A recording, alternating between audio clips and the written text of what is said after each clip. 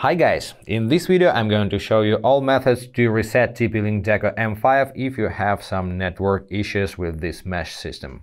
First, if you have some problems with this system, don't rush to do a hard reset. First of all, try to reboot the whole network. To do this, tap on this tile with your network in Deco application and three dots at the top right. Reboot network, confirm your action, your network will reboot and in 90% of cases that's enough to solve your problems. If you really need to do a hard reset, first you need to know that you can save your network configuration to restore it from the cloud on next setup.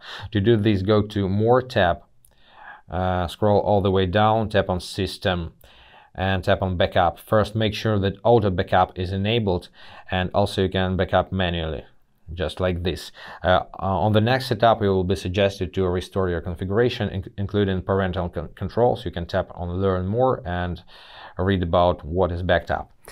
Next, to hard reset your Deco, you have to press the reset button on the bottom. To use this, just grab a pin and press this button. If you reset the secondary Deco unit, you will reset just only this unit. If you need to hard reset the wall network, reset the main Deco. So just press the reset button with the pin like this.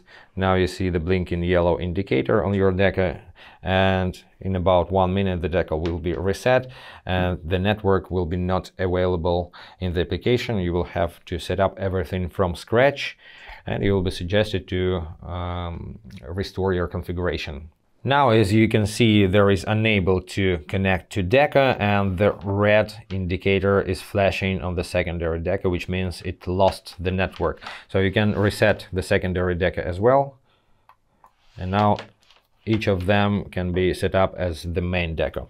So uh, that's pretty it guys. I hope this was helpful. If yes, consider to subscribe to our channel, hit the like button and be awesome. Bye.